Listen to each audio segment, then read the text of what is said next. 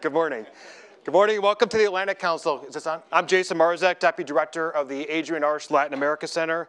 And on behalf of our center, I'd like to thank everyone for joining us here today and enjoying our wonderful Colombian uh, breakfast spread. Uh, this is the, also the launch of our Colombia initiative. And I'd like to thank the U.S. Chamber of Commerce and the U.S. Colombia Business Partnership for partnering with us. So the question is, why Colombia? Well, as, as probably many, of you know, know in this room, Colombia is an amazing story of transformation. The Colombia of today would have been nearly impossible to imagine at the turn of the century. It's hard to name another country that has seen such profound socioeconomic and, of course, security improvements in such a short period of time. This is evidenced, of course, by the dramatic breakthrough, breakthrough in the peace process announced last week. Clearly, the lessons of Colombia go far beyond Colombia. Its achievements show what is possible for the region and for the world, and that's what we're here to do at the R Center, is talk about Latin America in a much broader global context. In Latin America, Colombia, an example of consolidated democratic institutions, active free press, an engaged civil society, a striking contrast to some of its neighbors. Membership in the Pacific Alliance has positioned it as a destination for foreign investment and it is no surprise that Colombia is one of Latin America's top performers in the World Bank's annual Doing Business rankings. And of course, Colombia is also in the process of joining the OECD. What is the secret behind the, the so-called Colombian miracle, and is it here to stay? And with peace now within reach, how will Colombia ready itself for this next crucial chapter in the country's history? These questions are front and center as Colombians go to the polls on October 25th to elect governors and mayors. And as our work in Colombia with the Arsht Center begins a new chapter, we are here to, to begin to answer these questions today. Miguel Silva, in the first row, who will be on the panel today, is our non-resident senior Colombia fellow. Uh, he's been working with us to uh, implement this initiative, and he has a forthcoming report uh, that will explore not only Colombia's trans transformations, but also look at the many ingredients to, the, to its success as, lo- as well as recommendations for the next stage of Colombia, especially as it prepares to join the OECD and as it seeks to enter this process of building peace after dealing with issues such as trans- transitional justice and political participation of ex-FARC.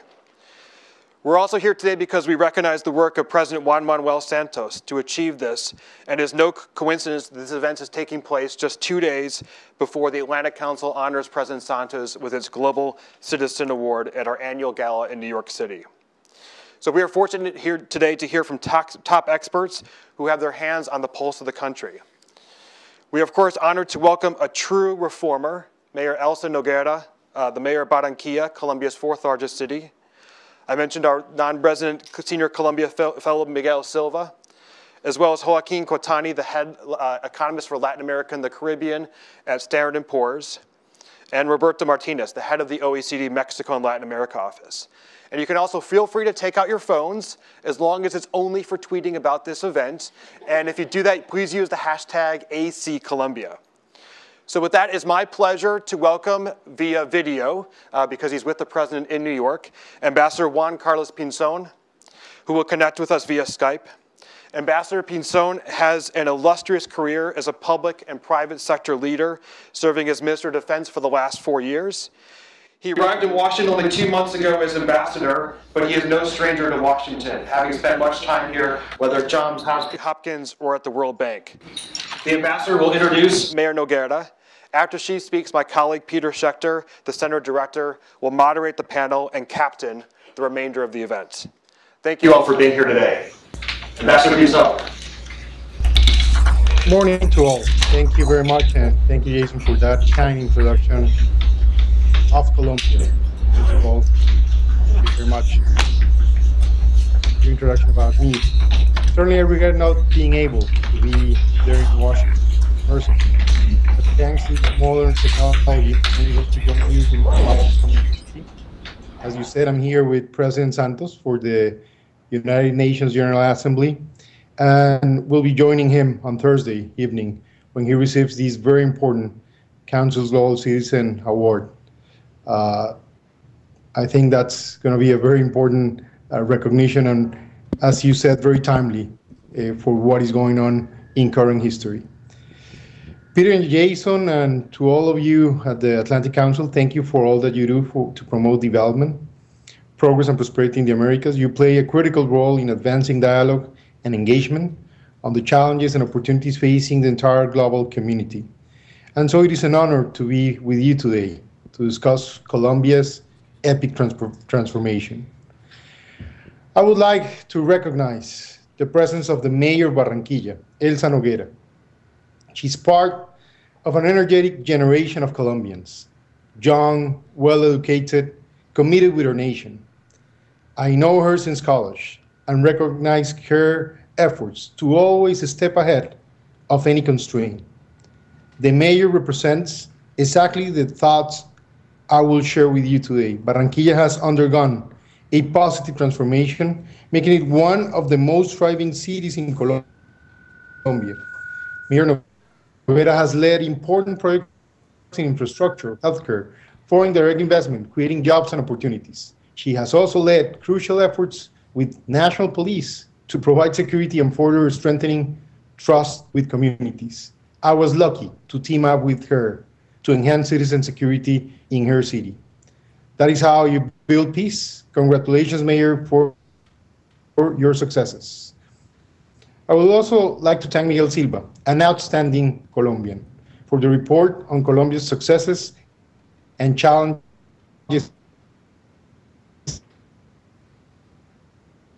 ahead that I understand he's working hard. I'm looking forward that are required to continue this transformation of Colombia.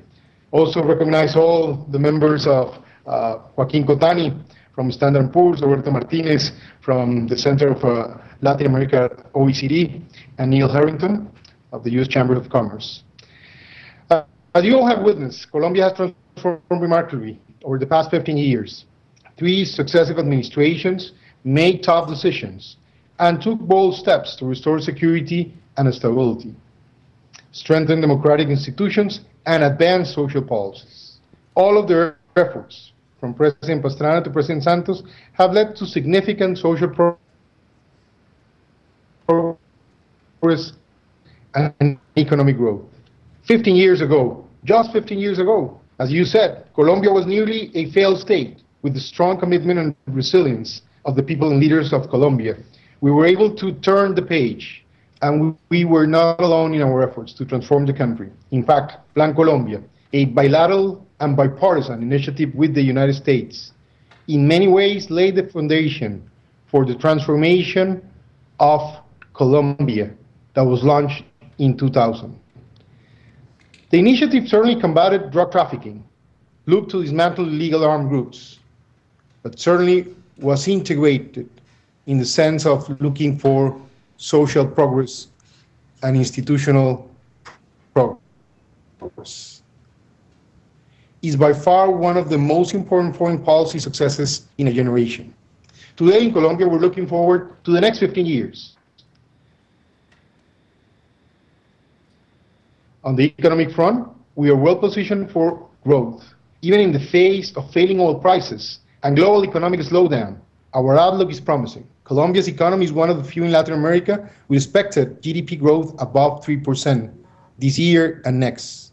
We also have been invited to become member of the OECD, and we expect to exceed in 2016 2017. Last year, we attracted more than 50 billion foreign direct investment, a record level of investment, and we achieved 29.5% of GDP which is a very, very impressive investment rate. Our middle class is steadily growing, and today Colombia has the highest job creation rate in Latin America. Inequality. Gini coefficient has finally moved below 50 after almost 20 years. And poverty and extreme poverty has been cut by half in the past five years. Largest infrastructure program is happening as we speak. And from being the most violent country in the world 15 years ago, today we have the current lowest homicide per 100,000 uh, inhabitants rate in 35 years. To further move our economy and people forward on the path to prosperity, we must continue to strengthen the middle class by providing more job opportunities attracting investment, and boosting commercial ties through trade initiatives like the Pacific Alliance, which we lead along with Chile, Mexico, and Peru, and the certainly Trans-Pacific Partnership, which we should be able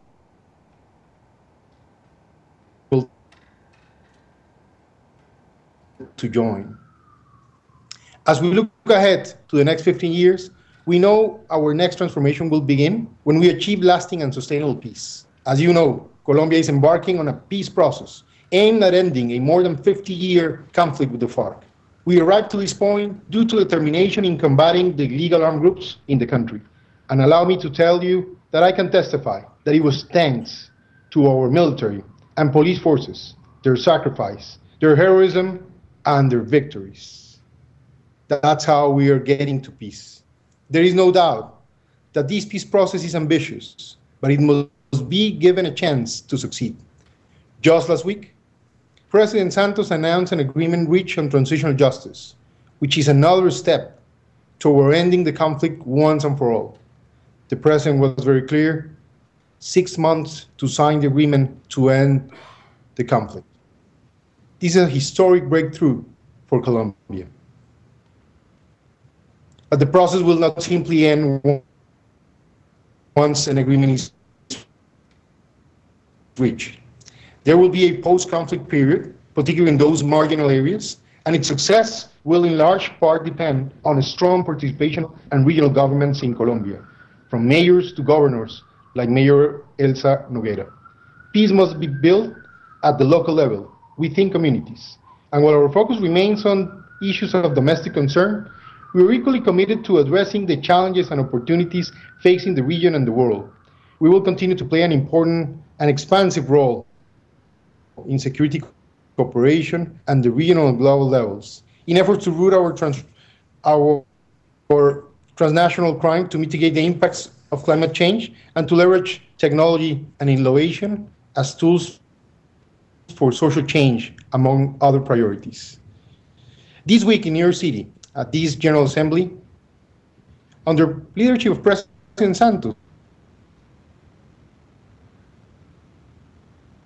we are engaging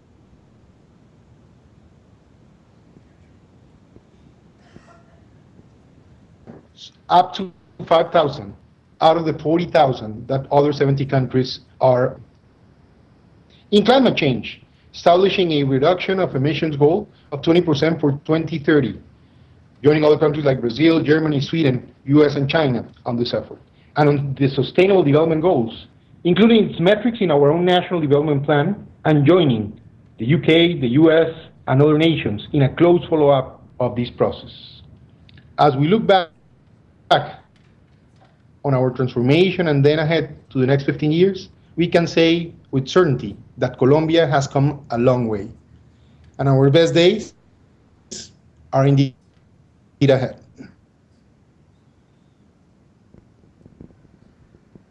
Thank you very much, and good luck, Elsa.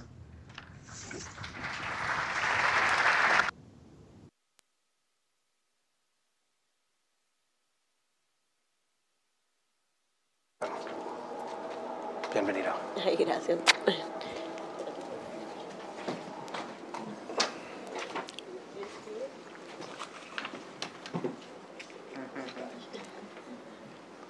Well, good morning to everyone. I want to start thanking Atlantic Council and Peter for inviting me to participate in this great event to tell you about Barranquilla's transformation. In January uh, 2008, when I uh, arrived uh, to the mayor's office as a secretary of finance, we had many, many difficulties. But let me first tell you about Barranquilla. We are located on, a, on the northern coast of Colombia in a very strategic geographical location.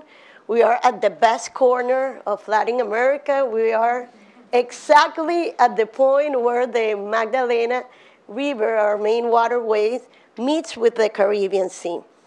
We have a population of 1.2 uh, citizens in the city and 2.2 in the metropolitan area. And we are the fourth largest city of Colombia, but today we have a, a high, you know, great uh, economic uh, development uh, potential growth.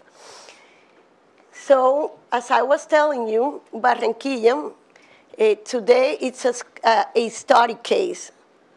And we have become a, a, the hope for many cities that today have huge problems and difficulties as we used to have eight years ago.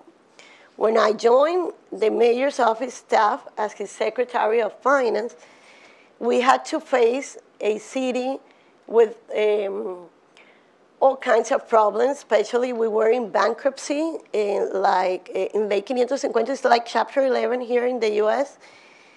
And we also have administrative inefficiency. We were very weak, our institutionality. We had corruption problems.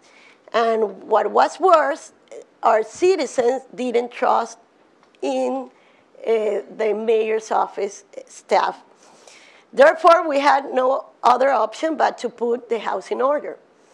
And we adopted a modern, efficient, and transparent uh, model, such as uh, President Santos has adopted a model based on good government and governance, which uh, has been essential to gain the national um, community and investors' confidence to reinforce the uh, peace uh, process and also to bring more investment to Colombia. We in the local government, we also uh, recover or regain that confidence, especially from our citizens, from national government, from banks, and from you know everyone. In fact, uh, in the last uh, report of transfer, uh, this NGO, uh, Transparencia por Colombia, that is an appendix of international transparency, uh, Barranquilla was put out as the city with the lowest risk of corruption with the city with the lowest risk of, of corruption in Colombia. Therefore, during these past eight years, we almost tripled our total income. So we start investing in reducing social gaps and um, improving our city's competitiveness. One of uh, the main challenge that has assumed President Santos is to reduce extreme poverty and uh, poverty levels. According to the Statistic National Department of Colombia, Col uh, our country is uh, successful, successfully achieving uh, this goal to reduce poverty. And Barranquilla has been a great partner to achieve this purpose.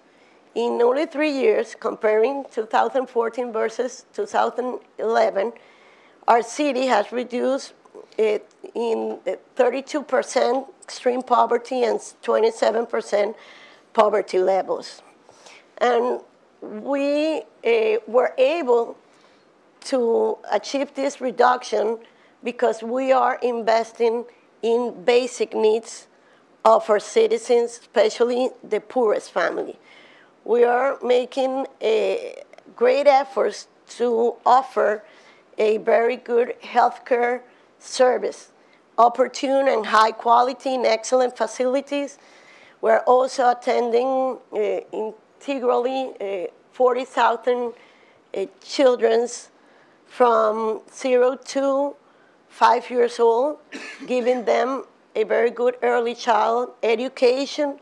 We have also uh, achieved many improvements in quality of our public education, investing in free meals, in technologies, uh, in uh, better infrastructures of our school, uh, teachers training and extending the um, school hours. We want our students to be more time or more hours at school and, and less time in the streets.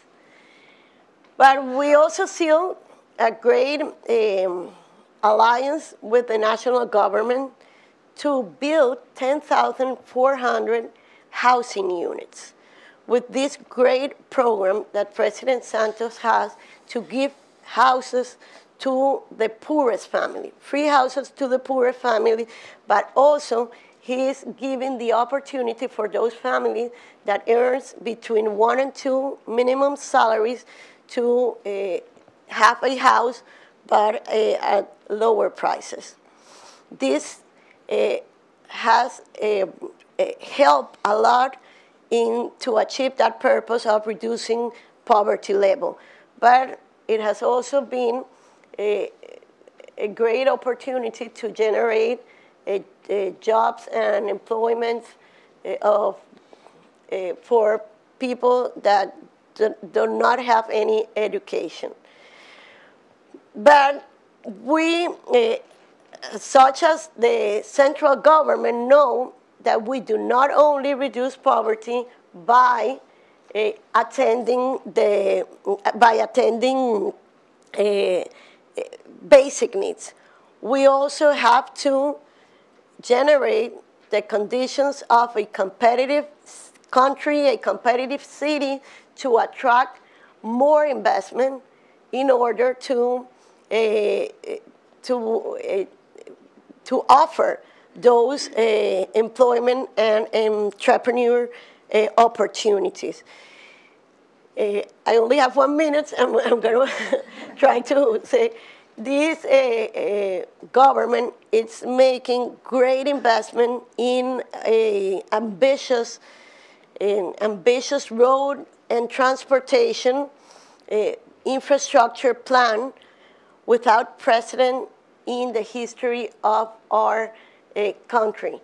But it has also signed these free trade agreements with the US, with the Europe, uh, Korea, and other countries in order to increase the commerce. Those are strategies to uh, bring more business to the country to be able to generate those jobs opportunity. And in Barranquilla, the national government is uh, investing well in highways, in, in new airport, but especially in the uh, navigation infrastructure of Rio Magdalena. What the government wants is to adopt the um, uh, multimodal system to use the river as a way of transportation in order to reduce uh, internal costs. And all of these investment uh, are letting the, the, the country to uh, achieve very good results in reducing uh, unemployment rate. Barranquilla has also been a great partner in this purpose.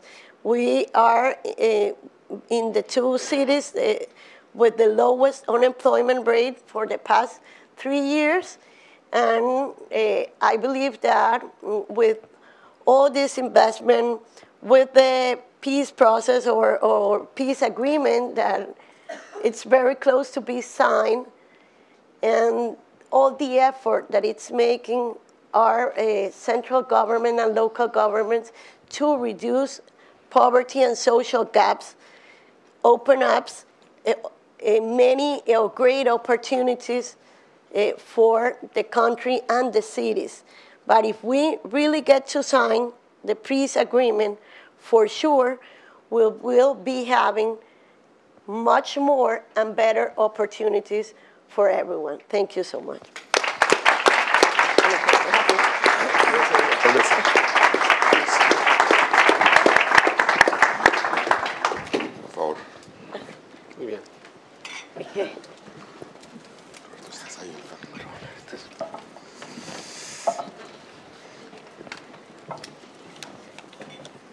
Thank you, Mayor, for that great, uh, great introduction to Barranquilla. All of us who follow Colombia know about your great uh, successes. Good morning, everybody.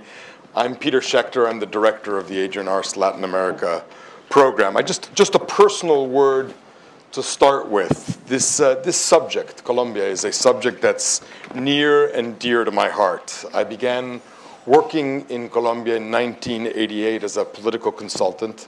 And since then, I've had the honor of working for five heads of state and on many, many election efforts in Colombia. I've been polling in Colombia for nearly three decades.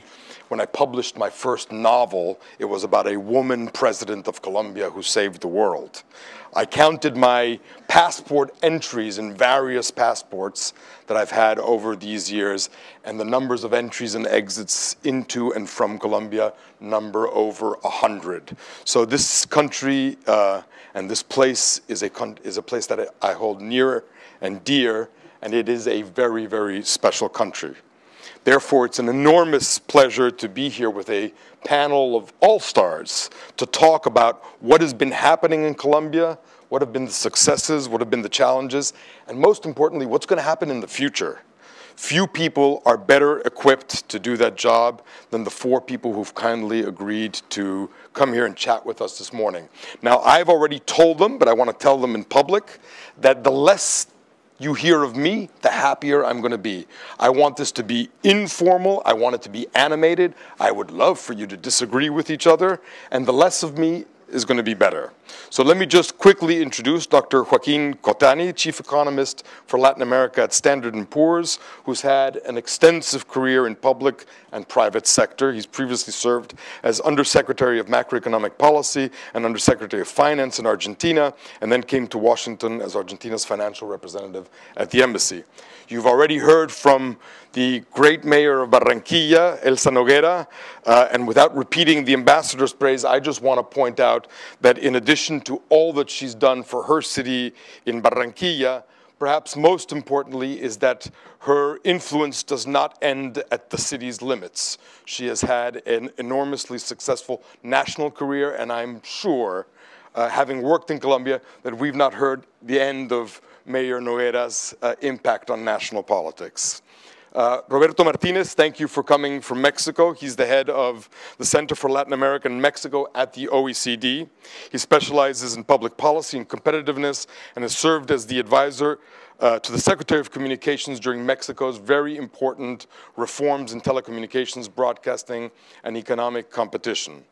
And last but not least, Miguel Silva, is our non-resident Colombia fellow. Miguel is a Colombian journalist, a lawyer, a consultant.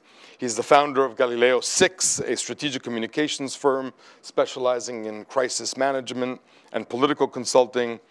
And Miguel has advised campaigns in and presidents in Colombia, Panama, Peru, Argentina, and was chief of staff to President Gaviria for many years.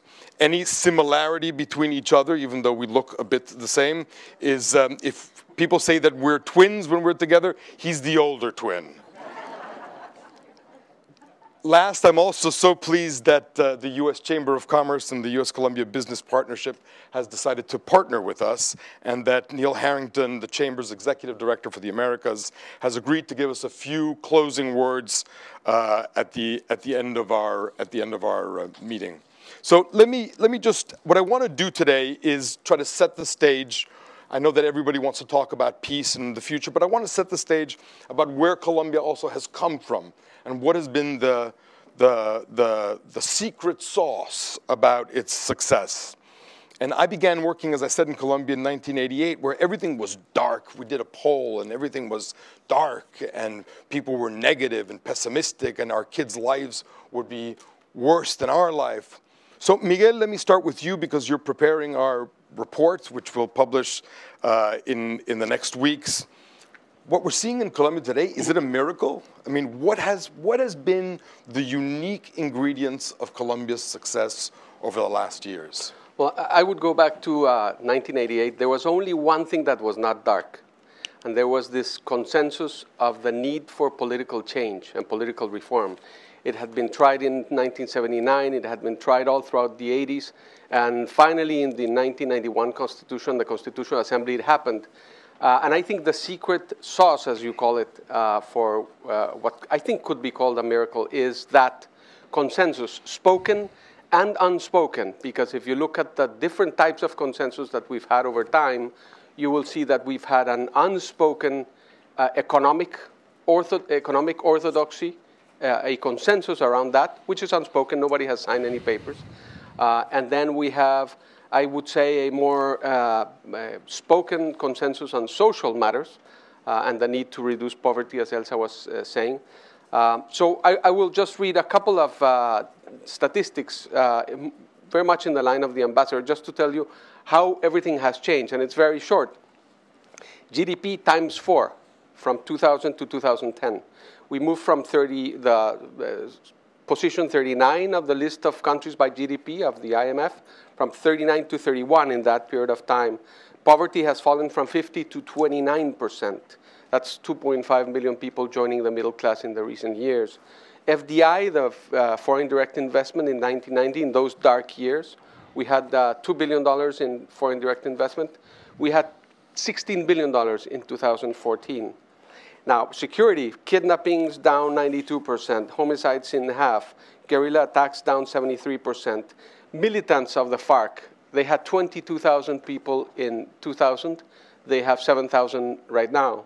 And uh, just a couple of other statistics, healthcare, it was 20% in 1993. Now it's 90%. Huge quality issues, as Elsa mentioned, but it's 90%. Uh, education, primary and secondary, is free right now in Colombia. It used to be just a political, influential. Uh, if you didn't have political influences, you wouldn't get your child in in school. And then water, access to water, 78 to 92%, sewage, 61 to 85%, electricity, 75 to 94%. It's all, and if you go to Medellin, which was the capital of crime in the, in, in the hemisphere, is now the capital for innovation. I mean, I, I do think it can be called a miracle. And I do think that the secret sauce has been a certain level of consensus on how to do have a collective purpose on those three uh, issues. So Mayor, you know, I, I want to pick up on this issue of consensus, and I want to, I want to. You, you've talked about Barranquilla, and I'm now going to try to piggyback on your national view. If uh, you know, tell us a little bit about this consensus. Uh, do you think, first of all, the most important thing is is the consensus continuing to exist? I mean, everybody knows that there's been some considerable divide in Colombia about where Colombia is going on a number of levels, do you see the consensus as continuing to exist over the over the over the future? Well, I, I believe that since we had consensus, we could achieve all those uh, improvements uh, Mr. Silva just told us. But now, maybe if you are uh, in Colombia and outside, you may have this uh, sensation that we do not have consensus. But this polarization is due to the skepticism of the peace process. It's, um, you know, our, our citizens were very skeptic with uh, the real uh, intentions of the guerrilla, because during this period, they uh, has not, they, you know, they, they keep on uh, making crimes, so we were very skeptic about it. But since the last um, meeting in La Habana last week, hope is back. And now uh, everyone knows, the citizens in Colombia and uh, in the international community, that we're going to sign a peace, but without impunity. That all these uh, terrible crimes and violations of human rights are going to be punished, punished. But I do believe that we have consensus in other issues, such as the importance to reduce uh, poverty or social gaps, because it's um, uh, what causes violence. When we have such inequalities, it, that produces violence in our country. And the polarization, as I said, I believe it, it, it was because of uh, the perception our citizens have uh, because of the peace uh, process. And I believe that it's normal that they feel that way because we had different attempts and failures in the past, but today things are much different. We have a country with a, a great um, credibility. And an example of that is that the US sent a special envoy to participate in this negotiation process. But also we have a, a very strong army. And eh, we have to give the, the, the credits to our ambassador. He did a, a great job eh, as Minister of Defense. And our guerrilla today, it's very weak. So it's really interest for them to sign this uh, peace agreement. Therefore, I believe that when we uh, sign the, um, the peace agreement, we will be needing a consensus to, uh, for the citizens to accept what, what was uh, agreed in, in La Habana. Uh, that's what President Santos has offered to, to our citizens, and I believe that uh, he's going to find that consensus. So, Joaquin, let me, let me ask you, um, and as, I, as we turn a little bit to the economic, I mean, there has been clearly, Miguel recited a whole litany of statistics, which has emanated from this consensus that our two Colombian friends have talked to us about. And so, economically, where is Colombia today? I mean, it has, it clearly has come from quite far, FDI in, increasing.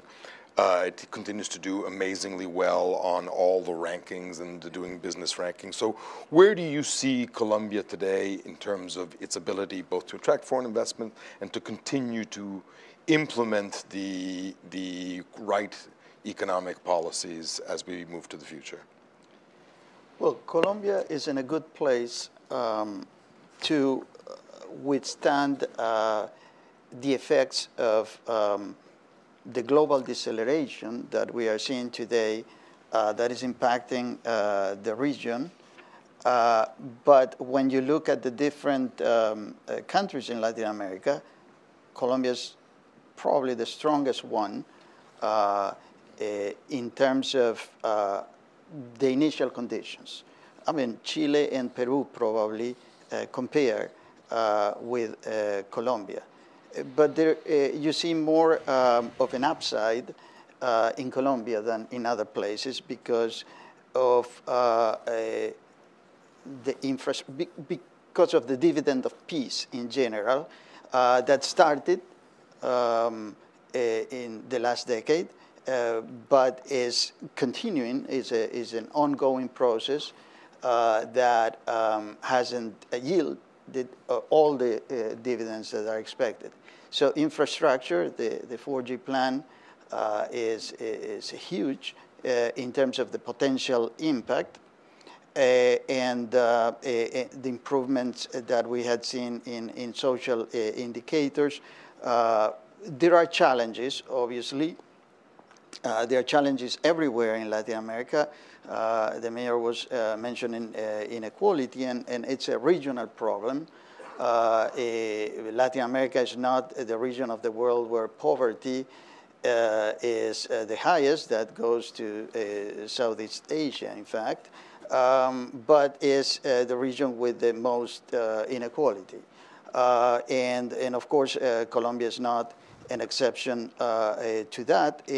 but the, unlike other places where the um, indicators are deteriorating in Colombia, uh, they're improving. Now, uh, the oil shock is a challenge.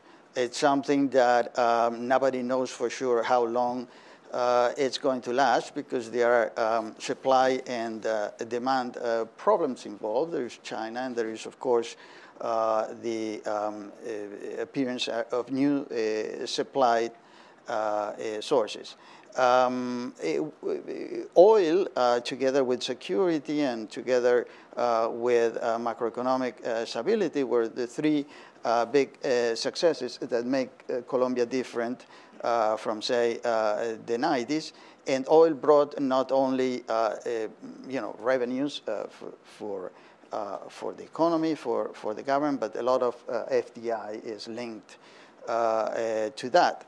Uh, so we have to be prepared to see, you know, slower growth as in any other part of the world, I would say. but because Colombia has been had the, the vision of um, of uh, signing uh, agreements uh, with the U.S., with Europe, with and, and, soon I think they will be part of the TPP as well. Um, they are prepared to really move um, to increase uh, exports that in the past Colombia was uh, good at, but that had declined because of the strength of the currency. And uh, so, so, there, is, uh, there is a lot that, uh, that we will expect uh, Colombia to deliver in the next few years. So I think that's a great segue to me, for me to ask Lorenzo. In the next few years, one of the things that Colombia is expected to deliver is accession to the OECD. Uh, you were telling us before about the different possible names for the OECD. Some people call it the rich man's club, other people call it the good policy club. Um, and so I, I'm curious, tell us a little bit about what this accession entails, because I think it's a interesting how the government might also use this accession to try to make some of the adjustments that it needs to make. Okay, so uh, so on behalf of, of the Organization for Economic uh, Development and Cooperation, it's, uh, it's an honor to be here. Uh, very glad to share this, this space with uh, very, uh, with, a, with a plural view and um, excellent uh, um, fellow panelists. So um, I would like to just recall that the OECD accession process is a rigorous technical assessment of, in this case, of Colombia's legislation, policies, and practices in a wide array of areas, from investment to environment, public governance to agriculture.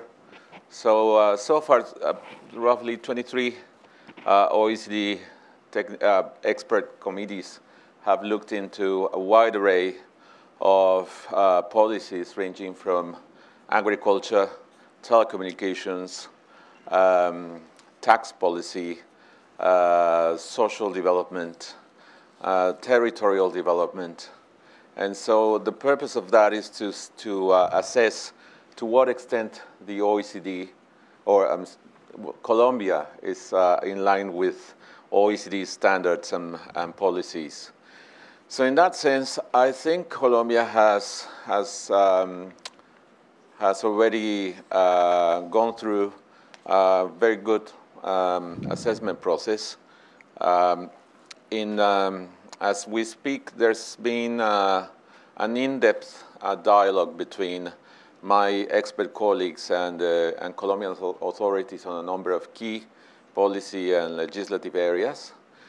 Um, the, the, the goal of this uh, dialogue is to make sure that Colombia and the Colombian authorities uh, have a commitment to bring Colombia in line with, the, with OECD policy standards and guidelines. Uh, some people sometimes tend to think that there's uh, somewhat, there's uh, an over prescriptive uh, attitude of the OECD or that there's, there might be um, conditions or some uh, strong conditionality for Colombia in order to to access the OECD, and I would like to stress that it is uh, only, um, it is true that the OECD makes recommendations, but it's up to the Colombian government to decide on how and to, and with, uh, with the, the pace at which uh, Colombia can, uh, can can get closer to the OECD standard. So in that sense, I think that uh, what, what's key to this process is that Colombia reveals or proves its commitment to a set of key policies, to, uh, to uh, alignment with uh, key OECD standards, to compliance with some uh, key OECD guidelines. And so in that sense, um, the final uh, decision of as to whether Colombia is ready to access the OECD is um, belongs to the country, the Council of, of, of OECD country uh, member countries. So it's 34 countries. And so in that sense, it's not just a board, a small team of experts that decides whether, the, whether, whether Colombia is ripe for, uh, for accession. It's more about uh, proving that there's uh, consistency, that there's commitment, that there's predictability in the, in, the, in, in, the, in the way that Colombia wishes to join what I call not the rich countries club, but rather the club of best practices, or in my own language, uh, the club of the best, uh, the best effort. And so in that sense, as I was saying before, uh, one of the lessons of the, of the enduring global economic crisis is that there's not one single path to economic growth, and that uh, higher income countries can learn as much from uh, middle income countries or uh, middle lower income countries than everyone else because the challenge is everyone's challenge to reactivate the global economy. And so in that sense, I think the OECD is a factory of innovative policy solutions. Thank you. I think that, uh, can I just stay on this to Roberto with you and and Joaquin? Um, I mean, part of this the innovation that's necessary in the changing world economy is clearly the changing game of trade, and where you mentioned it quickly that Colombia is excluded from the TPP at the moment. How, how is this exclusion going to affect its ability to implement some of the uh, reforms it needs is will FDI levels, do you suspect that they will drop? And does the Colombian membership in the Pacific Alliance rebalance the issue that it's not part of the TPP? Um, well, I think that uh, uh, entrance to the T, uh, TPP is, is a matter of time. it's not Colombia who uh, uh, doesn't want to be a part. They, they always expressed a clear um, intention and, and, and, desire to, uh, to be part. I think there are technical delays that are related more to the partners uh, and, and, not even the U.S. Um, as such, uh, but um, the group of Asian countries that um, wanted uh, at the beginning and, and perhaps uh, for uh, a purpose of being more expeditious, not to incorporate other countries. Uh, and my impression is that uh, President Obama wants, uh, you know, is, is in a rush to um, sign uh, the treaty because of um, you know this competition that the, there is with uh, with China in, in, the advances for geopolitical uh, positioning. and once this is done, they will accept other members, and I think Colombia is first in line to join. But um, much of what has happened in terms of trade, uh, and we, we, we see um, that one of the uh, main problems, if you look at the macroeconomic picture of Colombia, is the current account deficit, um, has to do uh, with, uh, again, the, the, the, super cycle of commodities, which was a good thing, but as, as it always happens, it displaces other sectors uh, in the economy, the non-traditional exports that, uh, on which Colombia used to be you know, one of the most uh, diversified countries thanks to the stability precisely of the exchange rate. Now, that change as it changed everywhere else because of the sudden um, uh, impact of, of China and the world economy and increasing commodity prices, uh, the exploration of all, all good things. But uh, the, the, the, economy is, is, is a dynamic place. uh, perhaps all the fruits of the uh, past bilateral agreements, including with the U.S., uh, haven't materialized yet. But because of that, because of you know finding the niches, and now that things are reversing in terms of you know the, the Colombian peso has has depreciated a lot, perhaps more than it deserves. Um, but that is, as, as, as Minister Cardenas has said, this is uh, it's a blessing in, in a way. I mean, it, it has cost in the short uh, term because um, uh, you know the standard of living of people usually decline when that happens. But then it creates opportunities that, uh, given the position, the the, uh, the proximity uh, with the United States, not geographically only, but but in terms of you know, uh, partnership and, and, and politics, uh, it's going to, I'm sure that uh, we will see a country less dependent on oil and again successful at producing other things. Roberto, please. Yeah, well, uh, just about, just commenting on the, the um, uh, strategic options open to Colombia, and I think there's an, an interesting intersection, of course, in the facing this scenario of Colombia uh, joining the OECD and also belonging to the Pacific Alliance. It's, interesting. it's interesting just to see that for, uh, I, have been uh, attending some meetings with uh, Mexican officials, um, and then they, they have commented on, on Colombia's uh, possible accession to the OECD, and, the, the, and then the fact that Chile is also an OECD member. And then they, they are vocal and they seem to be very enthusiastic about the prospects of aligning criteria across Chile and uh, Mexico and also Colombia to within the OECD, if that were the case. Well, that's what we expect. Um, to have a, like a stronger or more solid uh, joint coordination in a number of key strategic policy areas. And so in that sense, there, there, there might be, I see, an interplay between uh, strategic coordination across countries um, in the, within the OECD as well as uh, within the Pacific Alliance.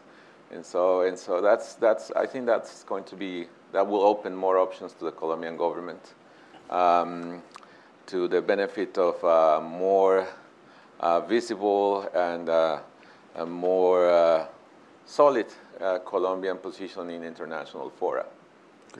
Miguel, let's let's move to what happened last week and the peace process.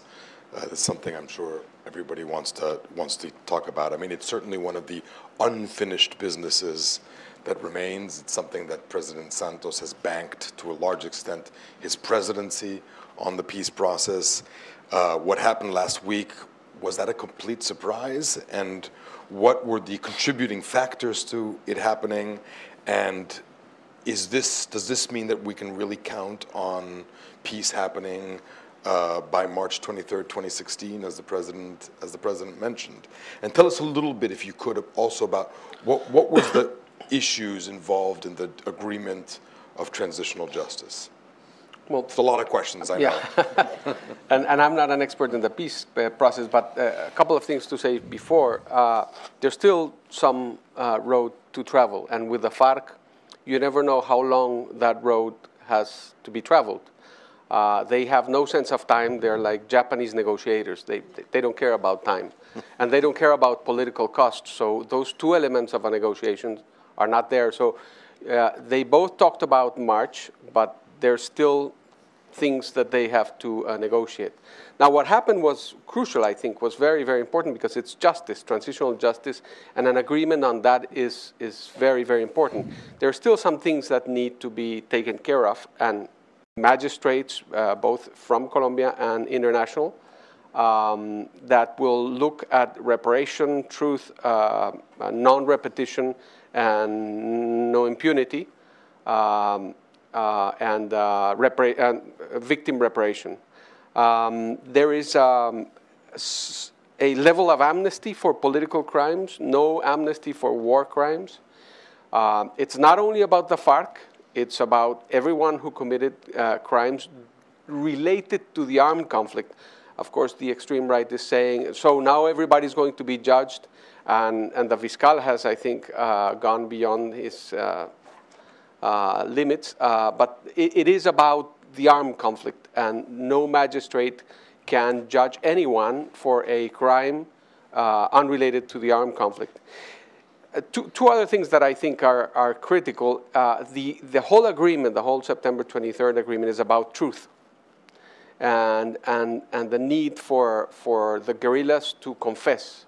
So if you do confess your crimes, uh, you get five to eight years in a um, secure place uh, with vigilance. That's what the government, the two words that the government has used. Um, if you do not confess, you can get up to 20 years in jail. So I think that uh, is a guarantee for one of the essential parts of a peace process, which is to learn from that and, and never repeat it.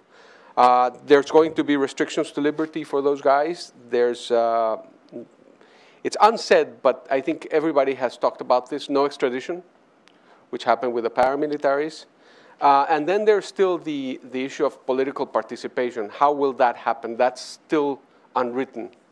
So, uh, I mean, it, it was very important what happened because it, I think it was the, the most difficult negotiation element in the peace process, but there's still a path to, to travel.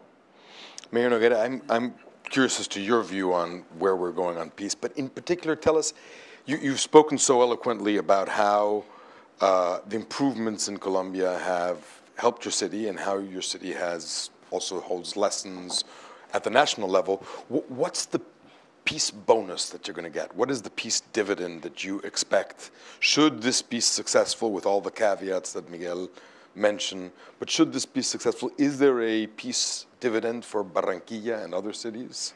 We believe that with the peace agreement, uh, our opportunities, especially in uh, economic development, to bring more investment to the country and to the city, to increase our international commerce, uh, will be benefited with the agreement. Last time with the uh, paramilitares was that uh, the head of these groups went to jail or had uh, some kind of negotiation, but the basis of these structures uh, organized in uh, criminal bands and went to the principal cities of Colombia. So uh, today our citizens in, this, in the cities feel insecure because we have these uh, BACRIMs, as they call them in, in Colombia.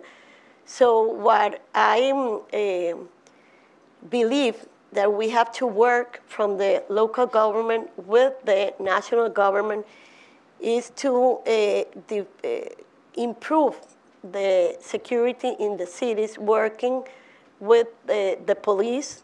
We need to strengthen our police. We now have a very strong um, army forces. They are doing a great job. Uh, but uh, fighting and defeating the, the guerrillas and narco traffic uh, war, but we need to strengthen uh, the operating capacity of our police forces. We need more policemen to uh, provide a better security at the cities. But it's not only policemen. We need also a, a good justice. Uh, there's nothing that motivates more uh, violence and insecurity than when there's no uh, when when there's impunity, and we also have to uh, to solve the problems we have in our jails. They are overcrowded. The infrastructure it's in a, are terrible. Eh, so we could have eh, our jails to be correctional centers. So more than, well, opportunities, we have them all, eh, especially because there's going to be more confidence in the international community, in our investors. But I believe that there's a challenge in securities of our cities that we have to work on. Thank you. If I can add, uh, there is another dimension of the, the, the peace dividend. Uh, is a long-term dividend. Uh, eh, but some people have been raising doubts about also, and from an economic point of view, the, the fiscal costs uh, eh, that are more short-term.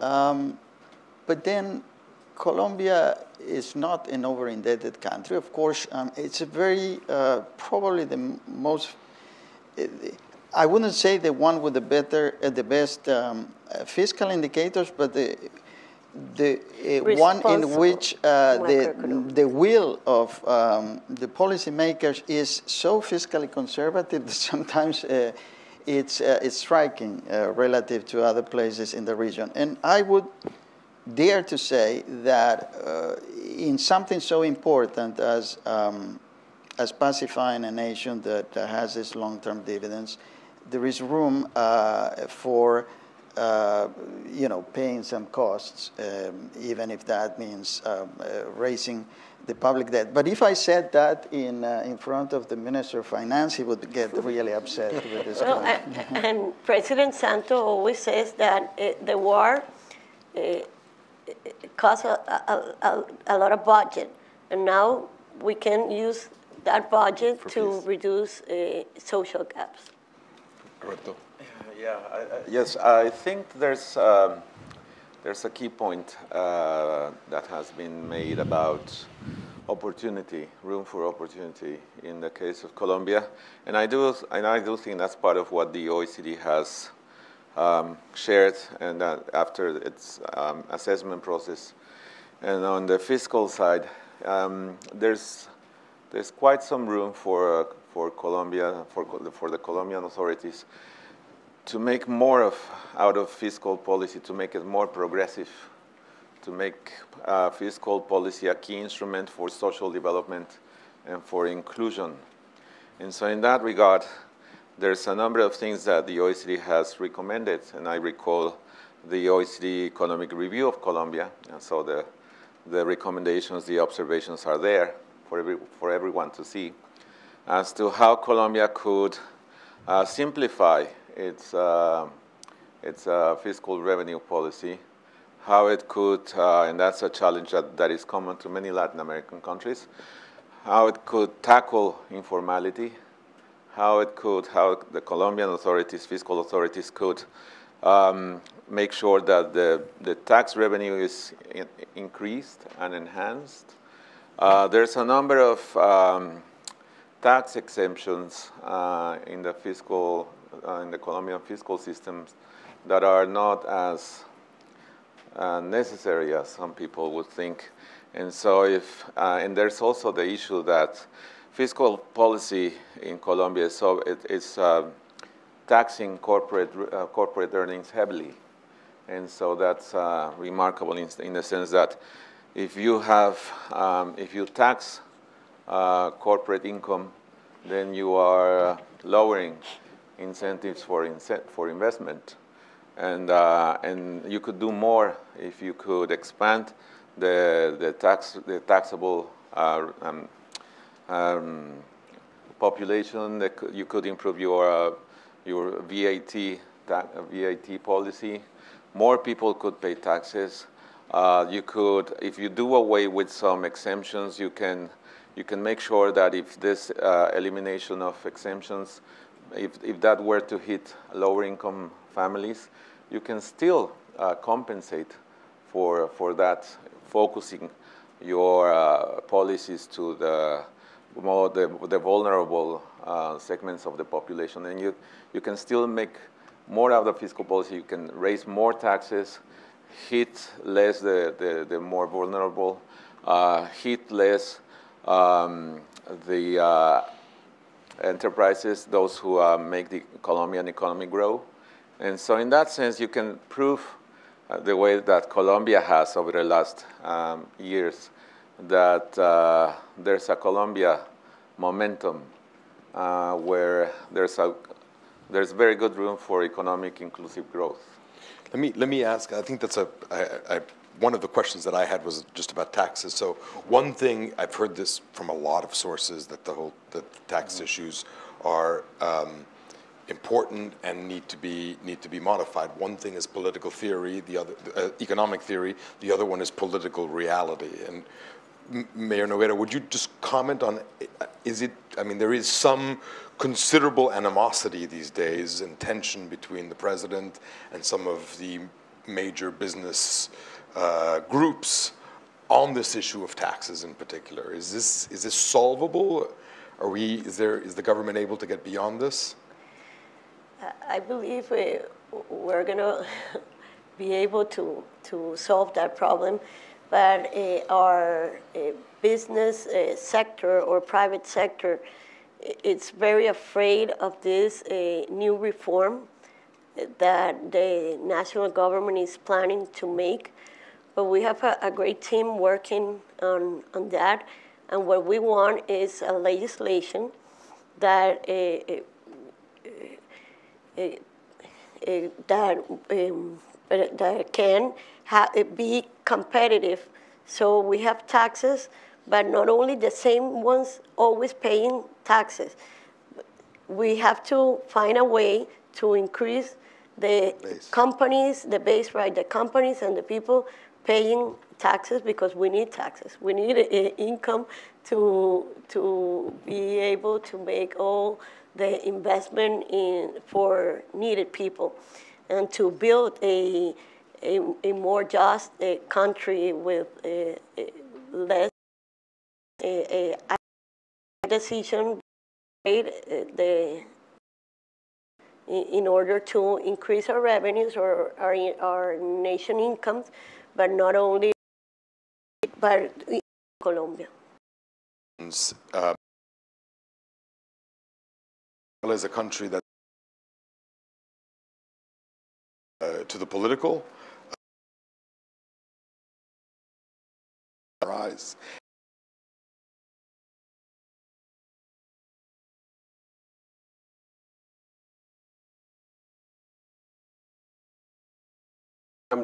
to the teeth. it's, a, it's a scary place to be in. Um, I, I, think we, we have to avoid getting into the political fiction of the Venezuelan crisis because uh, President Maduro is creating a fiction that is badly needed for him for the December elections to stop them, to avoid doing them, I think. Um, or to try to rebalance uh, the polls. It's 80 20 right now, so he will most probably so he's created this fiction. This fiction, it weren't so scary. Uh, this fiction, for example, says that there are hundreds of thousands of Colombians fleeing Colombia to go to Venezuela, this paradise of economic uh, opportunity. And, you know, we all laugh, but people in Venezuela might uh, believe that. And uh, those fictions, those Stalinist fictions, uh, can become realities. And I think avoiding the, the, uh, the trap of entering that fiction, of entering that narrative, even of considering that narrative a narrative that you should talk about, I think it's a big challenge because you have your own public opinion that will tell you, well, come on, what are you doing about this? Uh, so it's this balance between being firm and, and, and at the same time just knowing that you're, you're dealing with a madman, uh, that, that I think should be the defining elements of a very difficult foreign policy. Thank you. Let me open up to the audience for questions. Please identify yourself and raise your hand, and I'll. Thank you. Over there. There's a mic coming to you. Uh, Patricia Fagan, Georgetown University. Thank you. This has been a very uh, interesting debate among you, or discussion among you. You don't really disagree all that much. We, I don't think, we, um, the elections are forthcoming, the local elections are forthcoming. Territorial development is one of the major goals of the peace process, and as we've heard of the OECD as well. We have also heard that Barranquilla is making very encouraging progress with good goals in mind for the future. So I want to ask about the rest of the territories, the parts of Colombia that perhaps are not doing so well, especially the parts of Colombia, the territories, the, prov the provinces, the departments in the former conflict zone. I'm saying former conflict zone with hope. Um, economically, how are they doing, and what kind of progress do you foresee in the forthcoming, well, in, in the near future, near and medium future? Thank you. Who would like to take that? Miguel. Well, I'll, I'll start by saying a couple of things. One is, uh, I think it's a very relevant question because, it, as you know, our territory is huge and there are huge differences. Um, uh, so I would say that uh, the oil regions are in, in a difficult moment uh, and they're, they're struggling. Uh, they, they were used to get uh, enormous royalties and they're getting now half, 40% of that. Uh, so, so I think that's, those are regions that are very badly hit. Uh, then you have the southern parts of the country that have poverty issues far more. And the OECD, by the way, has spoken a lot about regional inequalities. Um, I, I, recommend their report that they published in January or February about Colombia. It's, it's fantastic. Um, now, the problem is that regional elections are, uh, will not tell you a lot about the national, what happened in October 29. We won't be able to say, you know, the opposition won or the government won, or because there's a lot of coalitions and, and every, everybody's blending uh, in a different way. In, uh, you'll see the vice president helping someone in Bogota, the president helping somebody else, and then they're both together in the governorship of Antioquia. Uh, and, you know, and I think that the big divide in, in those elections is, is, is a, it's a terrible divide between corrupt politicians and, and clean politicians. And I don't think the national government played a um, good moral teaching role on this one. They decided to play a pragmatical role. And so we'll see in many places mayors that uh, uh, we will be embarrassed uh, having them as mayors or governors. Um, I hope that uh, at least half of them will look like Elsa uh, and, and will govern like she did, uh, but you know, it can happen the other way around. What I can add is that um, Barranquilla and many other cities that have achieved uh, important uh, results have become like the hope for many other cities in Colombia. They are seeing that in, in short time, you can build uh, different cities and that when we have a, like good governments or, or and governance, uh, confidence is back. And the national government 80 years ago didn't want to have anything with Barranquilla, and now is our uh, best uh, partner we have.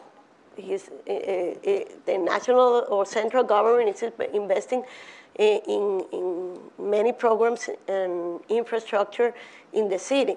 So uh, what this a good experience, as it was in Bogota a couple of years ago, with Mockus and, and Peñalosa, uh, great mayors we have there.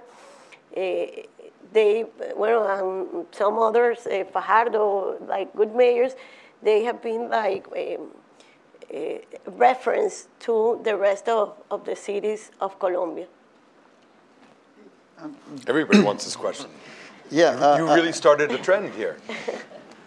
I don't know much about um, uh, Colombian politics, but I want to throw an idea that I read somewhere that uh, sounded interesting, but I want to uh, know the opinion of the experts here.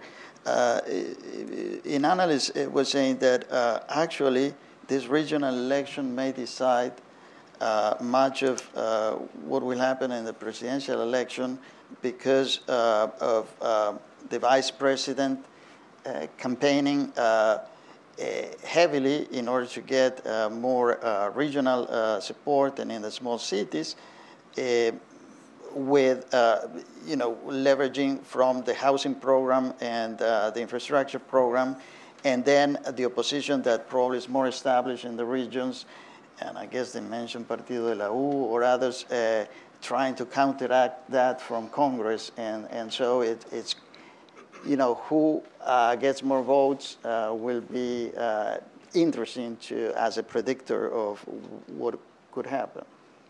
Is that, is that? but it's going to be very difficult because of the coalitions. So the problem is that in, in the next day, everybody will say, I won. Right because there there are so many, many coalitions that they can say mm. you can add those numbers in many different ways. Mm. For, let me let me. No, for example, the the the mayor that the, the candidate that that's running for mayor uh, in Barranquilla, all the parties are with him, so it's a great coalition. Other questions, please? Take the gentleman here. Hi, my name is Kunal Raval. I'm uh, from George Washington University, and this question is for Joaquin and Roberto. Um, do you think during the economic this commodity super cycle, all the money that is being received by the government has it been spent properly in the fundamental sectors like higher education, skill development, such that the economy has is you know once you come in TPP, it's okay to come in TPP, but has the economy or the private sector competitive enough to compete with other economies of Asian countries? Okay, so first of all, thank you for the free publicity about the, the OECD work uh, on Colombia. It's true that there's been a number of interesting things that have been highlighted as both uh, areas of opportunity but also strengths of Colombia in the present context of, uh, and of course, the challenges ahead in terms of regional development. Um, whether about about Colombia's prospects for uh, economic growth and for, as I, as I, as I mentioned before, one of the things is to make sure that uh, investors in Colombia have enough incentives to keep investing and to invest more. Uh, there could be less of a tax burden uh, placed on companies, on Colombian companies. Uh, and no doubt that there's a lot to be done in terms of, and there's a good area of improvement in, in, in the regulatory reform uh, arena. Uh, my colleagues have already been working with, with Colombian authorities on that.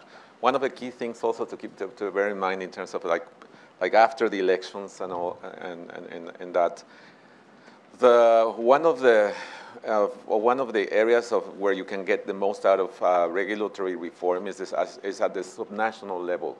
So there's a number of important things that subnational governments can do and mayors can do to improve the business environment. So going back to the second question, uh, how to make the Colombian economy more competitive. And so there's, of course, we know that there's on the one hand the proper and, and most efficient, the more efficient use of public resources and public funds but also there's this, this other area of like the regulating uh, the, the, the economic environment. Exactly. To offer clear rules. Exactly. And so clear rules, consistent rules, predictable rules, uh, less obstacles to entrepreneurship, and definitely uh, more articulation, more horizontal articulation across uh, policy areas. Let me take two other questions and I'm afraid we don't have time for many more. The lady here, and I'm going to take another one afterwards. Would you take the microphone, please? Oh, I'm sorry. My name is Jimena Uribe, and I'm with International Cultural Events. I'm very proud to see your passion for the city of Barranquilla. It really shows what you have. Uh, my question is, I understand there's a lot of, like, for instance, construction companies moving to Barranquilla because of the big opportunities. What are you doing? One of the main things that you're doing in getting your citizens involved to be one of the first cities in the country of Colombia that is um, succeeding? Well, we're, May I take another Sure, question? sure. As- And let me just pick one more, all the way in the back. You're going to have to fight for it. Good morning. My name is Juan Misle, Latino Giant. Um, one of the main conditions that the OECD specifically assigns countries in order to ascend into the organization is to maintain high um, standards on labor practices and labor conditions. And given that the that Colombia right now uh, has an impunity of 93% for murders of trade unionists, and given according to the International Trade Union Confederation that the number of trade unionists murdered in Colombia uh, outnumber those in the rest of the world, what specific recommendations would you recommend for Colombia to tackle this endemic um, trend of murders of trade unionists? So two questions, one on investment, construction, and the other one on uh, the issue of uh, protecting the freedom of trade unions.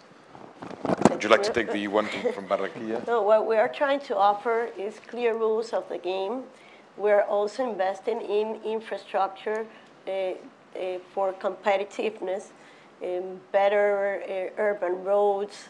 Um, uh, we are paving uh, the streets in the neighborhoods, so uh, the poorest family has a, a, have a better uh, connectivity. We're also building highways to improve the access to the ports. And with the free trade agreements and with everything that's happening in, in at the central government, uh, the private sector are seeing uh, good opportunities in Barranquilla. And what we try in the mayor's office is to uh, facilitate them, their investment. I try every week to receive uh, private investors' interest in, in getting to Barranquilla or expanding their business they, they, they have right now. So uh, it's like everything is in a, in a in, you know, in, in a good uh, uh, ambiente, a good uh, feeling, feeling for, for business. They feel comfortable. They feel there's also continuity in, in the public management policies. Now we, we believe that for the, the next four years, we're going to have also a, a great mayor and I believe that gives us or strengthens our, our institutional capacity, and that makes it attractive for a business sector to look for Barranquilla. Thank you. Miguel, I'm going to give you 30 seconds because I'd like to invite Mr. Harrington up just on the issue of trade unions. It's been a very, very difficult issue for, for Colombia in the last uh, years. I think uh, there has been some improvement, I would say, in terms of protection of uh, union leaders. Uh, it was, as a matter of fact, it was one of the conditions of the free trade agreement with the U.S. Um, and there's a lot of money that has been invested in protection um, and security and intelligence. I, I do think there's a cultural and mentality change that needs to accompany the peace process. Uh, many businessmen see union leaders as their um, as at the other side of an ideological spectrum, more closely related with guerrillas uh, than with political debate. And I think that's, that's, that should be the past. Uh, I think uh, businessmen should see union leaders as their allies uh, in the construction of a completely different uh, private environment. But as the peace process, it, it would also take time. Thank you. Let me ask you to thank the panel with me. Why don't we stay here while Mr. and welcome Mr. Harrington up here as well. Thank you.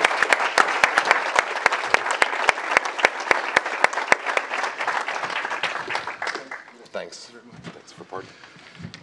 All right, I know we're behind schedule, so I'll try and get us out of here in less than three minutes. How about that? Um, first, I want to recognize Peter and Jason, right? Um, and the great team here at the Adrienne Arsht Center um, for putting on this fantastic event. I think um, you know, those of us in the trade community a lot of times focus on the federal level, but where things really happen is at the local municipal level. And um, and so to, to highlight that is, I think, of, of immense importance. I want to recognize you, Alcaldesa, um, and um, who I had to do a little bit of background to find out a little bit more about you. So I, I asked a really good friend of mine about you, and um, she said, among other. Um, among, among other deep compliments, she said, You're deeply committed to good governance, ethics, and transparency. You're a willing partner in advancing public private partnerships to guarantee continuity and inclusion and further economic development. And uh, basically, in short, she said, You're considered by many observers to be the best mayor in Colombia. So, uh,